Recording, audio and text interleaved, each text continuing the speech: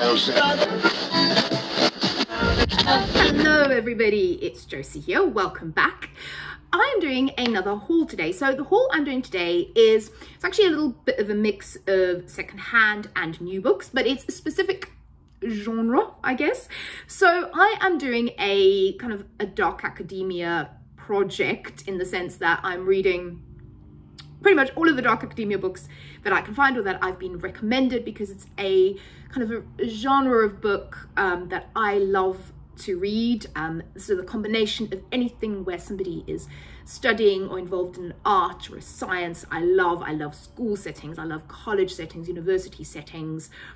I love all that kind of thing. Um, at the moment I'm reading loads and loads of books and I, have I've talked about um, the project that I'm going to be doing but I thought I'd do a bit of a haul as well. So um, I'll show you some of the books. I'll do I'll probably do two hauls across all of the books that I have but I'll I'll do one today and show you some of the books that I've um, purchased and that I found in secondhand shops as well that are uh, dark academia some of which I've read some of which I've not and what I love. So here we go the first one.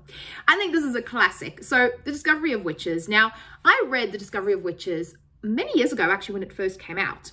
Um, and I'm really annoyed with myself that I think I got rid of that. Well, I know because I can't find it in my house anywhere. So I'm pretty sure I got rid of that copy, which really annoys me. I'm pretty sure it was a hardback copy as well but I have really been getting into this lately because I've been watching the TV series, which I love. And this cover is actually the two characters um, as depicted in the TV series.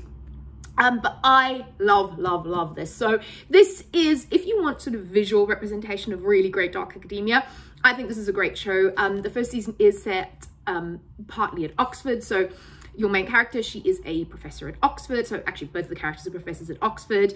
Um, she's a witch he is a vampire. Um, it is gorgeously, wonderfully romantic, but it is also just this great kind of, she's, she's, the love the main character, she's so studious and, and kind of really into her, like Anna's not fluffy, she's not, um, even the way they style her, I love the way they style her, very kind of, if you're looking for any dark academia styling tips, it's brilliant, but she's just, oh, she's so kind of level-headed and I just love her. She's just a great, great character. I love her.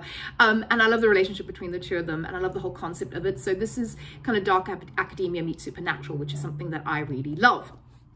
So, um, actually, let me do it this way because mm, it makes more sense. Sorry. Anyway, as I was saying, so a dark academia meets supernatural. Vampires. This is another book that involves vampires. And again, this is a gorgeous copy. This I, I got secondhand online and it's The Keeper of Light and Dust um, by Natasha Mostert. Now, I've read a few Natasha Mostert books, and I love Natasha Mostert. And another one actually that falls into this kind of dark academia vein, I think, is um, oh oh god, it's the witch book. I can't even I can't think of the name. I'll think of the name. But there's a book that she she writes um, that basically talks about memory palaces and building memory palaces in your mind. It's fascinating. But this one sounded like a great dark academia vein in a little bit like the discovery of witches. So it's Mia Lockhart has a secret. Her mother was a keeper, as was her grandmother, women who were warriors, healers, and protectors. As Mia practices her craft among the fighters and martial artists of South London, she has no idea that a man who calls himself Dragonfly is watching from the shadows.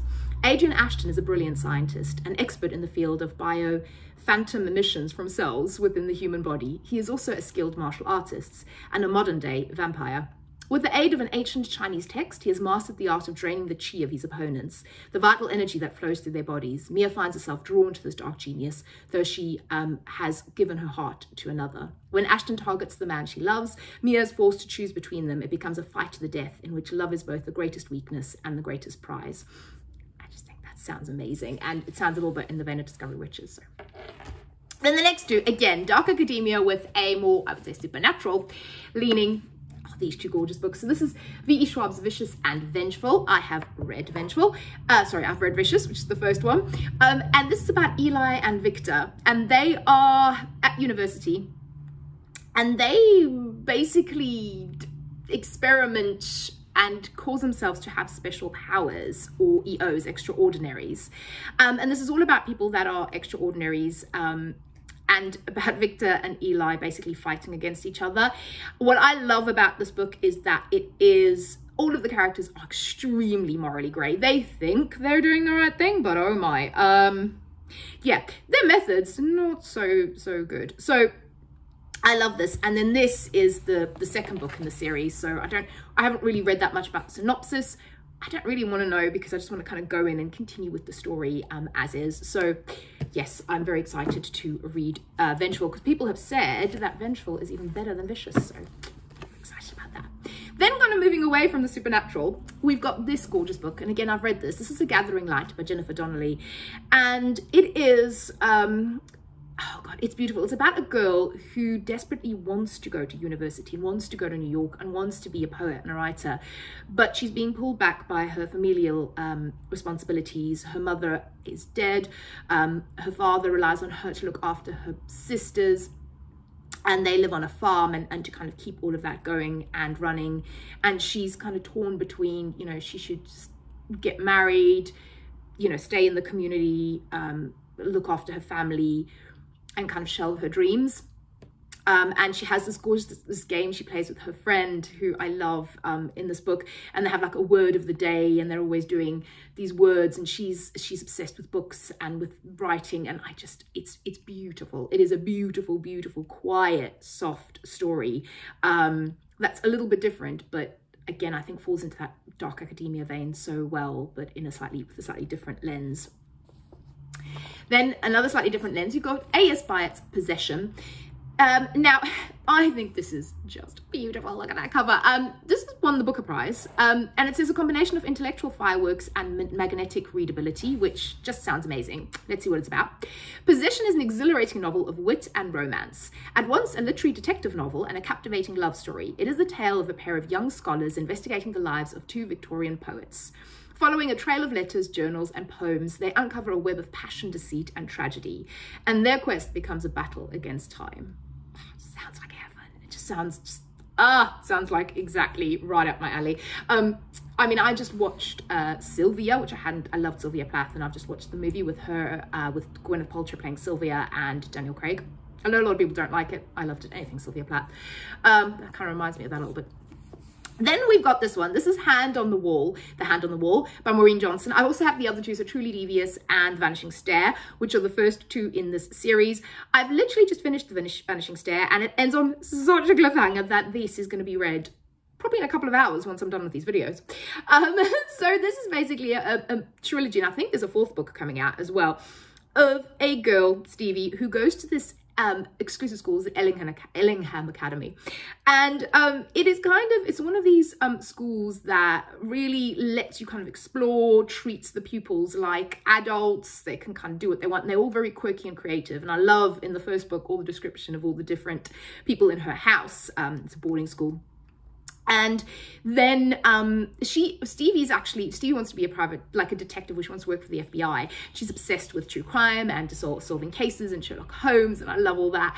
Um, and she reminds me of, so if you've watched A Good Girl's, not watched, read A Good Girl's Guide to Murder, um, Pip in that, so Stevie and Pip just remind me very much they're they're similar characters just obsessed with this true, true crime and kind of figuring out who done it and very plucky and i just love i love the character i love all the characters in this book. Um i've discovered a real love for maureen johnson because i also finished um the name of the star it's the first one in the shades of london series which i'm going to continue in as well but i'm just really enjoying them. This is just easy to read it's quick it's ya but it is fun. I am having a good time with this murder mystery both past from 1936 which is really cool because the 20s, so 1920 to sort of the mid 1930s are just my favorite kind of era. I love it.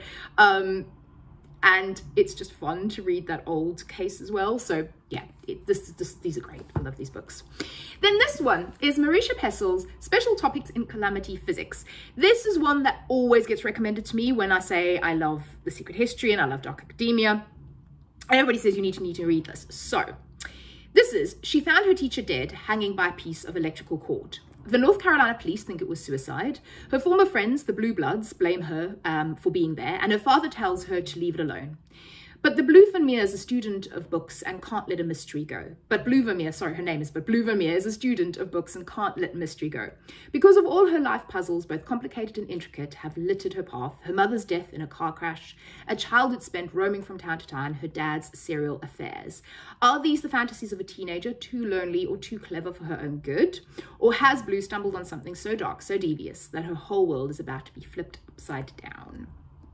So this sounds, reminds me of Stevie. Um, so because I love this, I think I'm going to love this. It might be one of those videos if you like this, but yeah, everybody says it's really good. So, and the next one, you can tell by the cover and the name that I was like, oh, Prep. So this is Prep by Curtis Sittenfeld. And this is um, Leaf Fiora is a shy 13-year-old when she leaves a small town Indiana for scholarship um, at Allett, an exclusive boarding school in Massachusetts.